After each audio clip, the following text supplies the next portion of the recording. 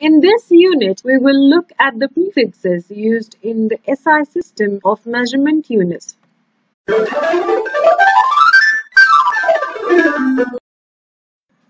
First, we will have a look at the prefixes used for fractional units. The prefix deci indicates one-tenth of a unit. A deciliter would be one-tenth of a liter.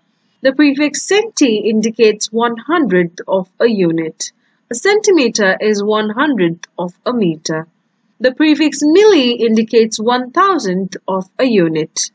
A millimeter is one thousandth of a meter. The prefix micro indicates one millionth of a unit. A microfarad is one millionth of a farad.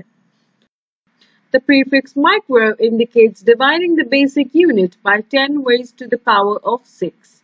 The prefix nano indicates 1 billionth of a unit.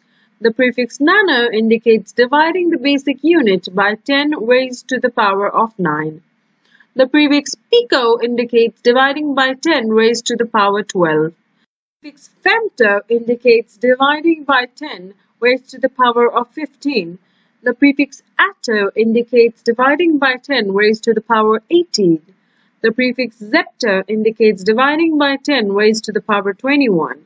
The prefix yocto indicates dividing by 10 raised to the power 24. Next, we will look at prefixes for multiples of the basic units. The prefix deca or deka indicates 10 basic units. The prefix hecto indicates 100 basic units. The prefix kilo indicates 1000 basic units. 1 kilometer equals to 100 meters. The prefix mega indicates a million basic units or 10 raised to the power 6. 1 megahertz is equal to a million hertz. The prefix giga indicates a billion basic units, or 10 raised to the power 9. A gigaton equals a billion tons. Tera indicates multiplying by 10 raised to the power 12. Peta indicates multiplying by 10 raised to the power 15. Exa indicates multiplying by 10 raised to the power 18.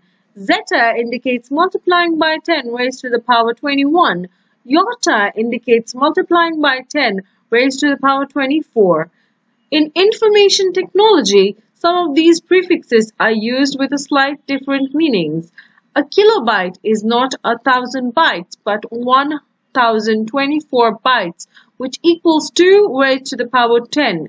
A megabyte equals 2 raised to the power 20 bytes. A gigabyte equals 2 raised to the power 30 bytes. A terabyte includes 2 raised to the power 40 bytes. If you enjoyed this video, please like, share and subscribe. For more details, visit our website leximagic.com.